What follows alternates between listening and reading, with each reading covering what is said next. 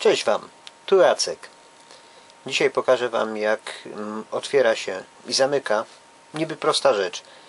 Kieszeń w pasie biodrowym w plecaku Osprey Kestrel 38 model 2012.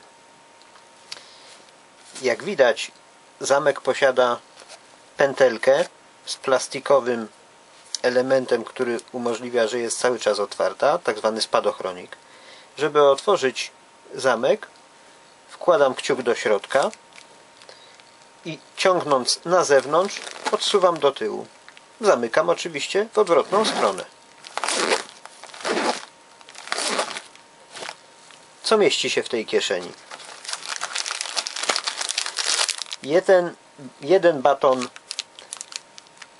musli, drugi baton musli,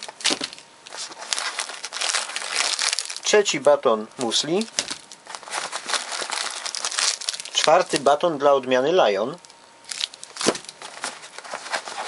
Scyzorynox, Scyzorynox Victorinox, Scyzoryk Equestrian i zapalniczka do mojej kuchenki gazowej. I zamykamy pustą kieszeń. Otwieramy, zamykamy. Otwieramy, zamykamy. Mógłbym tak więcej razy, ale myślę, że wystarczy. Dzięki za uwagę.